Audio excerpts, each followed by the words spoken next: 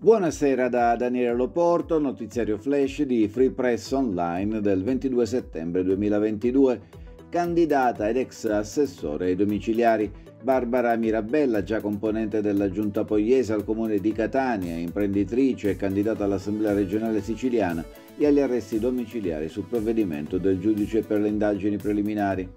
L'indagine riguarda il congresso nazionale della Società Italiana di Chirurgia tenuto a Catania nel settembre dell'anno scorso. Secondo la Procura della Repubblica, Mirabella avrebbe ricevuto 10.000 euro per i suoi buoni uffici tra le amministrazioni interessate, comune, città metropolitana e gli organizzatori.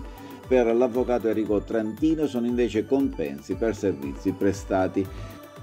Dura reazione dal centro-sinistra con Claudio Fava del Movimento 100 Passi e Dinuccio Di Paola, candidato del Movimento 5 Stelle alla presidenza della regione. La bambina non respira, i carabinieri fanno da apristrada. Madre nel panico per la crisi respiratoria della figlia di un anno e mezzo e per di più imbottigliata nel traffico. Provvidenziale l'intervento di una pattuglia dei carabinieri che ha fatto da staffetta all'auto della donna che così ha potuto raggiungere in pochi minuti da Lineri, frazione di Mister Bianco, l'ospedale Garibaldinesima dove la piccola è stata soccorsa e posta fuori pericolo. Acciaierie siciliane si riparte avanti adagio per l'industria siderurgica di Catania che dopo la firma del decreto energia ha riacceso gli impianti.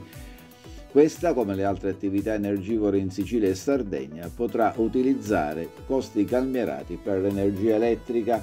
Sono circa 500 i dipendenti diretti di acciaierie siciliane con un vasto indotto. Quello di Catania è l'unico impianto siderurgico del centro-sud.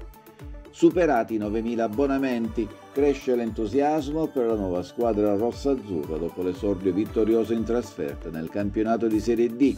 È ripresa infatti la vendita dei tagliandi. Obiettivo della società del Catania a questo punto è superare quota 10.000, anche in relazione all'aumentata capienza dello stadio Massimino. La squadra etnea giocherà in casa mercoledì 28 alle 20.30 contro il San Luca.